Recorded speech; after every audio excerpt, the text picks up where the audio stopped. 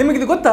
ಕರ್ನಾಟಕದ ಮೊಟ್ಟ ಮೊದಲ ಮುಖ್ಯಮಂತ್ರಿ ಕೆ ಸಿ ರೆಡ್ಡಿ ಅವರು ಚಿನ್ನದ ಪದಕ ಪಡೆದ ವಿದ್ಯಾರ್ಥಿಯಾಗಿದ್ದರು. ಕೆ ಸಿ ರೆಡ್ಡಿ ಅವರ ಪ್ರಾಥಮಿಕ ಶಿಕ್ಷಣ ಕೋಲಾರದ ಕೆಜಿಎಫ್ನಲ್ಲಿ ಮುಗಿದರೆ ಪ್ರೌಢಶಾಲಾ ಶಿಕ್ಷಣ ಬೆಂಗಳೂರಿನ ಲಂಡನ್ ಮಿಷನ್ ಬಾಯ್ಸ್ ಸ್ಕೂಲ್ನಲ್ಲಿ ಮುಗಿದಿತ್ತು. ನಂತರ ಪದವಿ ಪಡೆಯಲು ಮದ್ರಾಸಿನ ಪಚ್ಚಿಯಪ್ಪ ಕಾಲೇಜು ಸೇರಿದ ಕೆ ಸಿ ರೆಡ್ಡಿ ಅವರು ಬಿ ಎ ಮುಗಿಸಿ ಮದ್ರಾಸ್ ಲಾ ಕಾಲೇಜಿನಲ್ಲಿ ಬಿ ಎಲ್ ಪದವಿ ಪಡೆದರು. ಪಚ್ಚಿಯಪ್ಪ ಕಾಲೇಜಿನಲ್ಲಿ ರಾಜ ರಾಮಸ್ವಾಮಿ ಮೊದಲಿಯಾರ್ ಚಿನ್ನದ ಪದಕ ಪಡೆದಿದ್ದ ಕೆ ಸಿ ರೆಡ್ಡಿ ಅವರು ಶಾಲಾ ದಿನಗಳಿಂದಲೂ ನಂಬರ್ ಒನ್ ಸ್ಟೂಡೆಂಟ್ ಆಗಿದ್ದರು.